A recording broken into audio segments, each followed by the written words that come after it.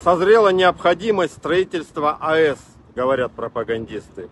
Якобы есть дефицит электроэнергии. Непонятно, откуда только взялся этот дефицит, если у нас совсем нет производства. Мы даже трусы не производим. А для производства синих тазиков Петропавловска я не думаю, что нужно много энергии. Если дефицит есть сейчас, то как мы будем существовать 15-20 лет, пока будут строить АЭС? Ведь логичнее будет, если и есть дефицит энергии сейчас, то по-быстрому настроить ветроэлектростанции, которые намного дешевле и строятся всего лишь за год.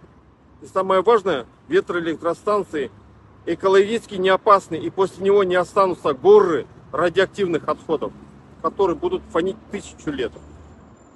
И самое главное, киловатт-час, произведенный ветром, будет дешевле в 6 раз атомного киловатт-часа. Поэтому мы против строительства АЭС, и об этом надо заявить на референдуме, на который надо обязательно прийти и выразить свою позицию. И к тому же проконтролировать, чтобы ваш голос не украли. Никто не имеет права принимать решения за нас. Стоп АЭС!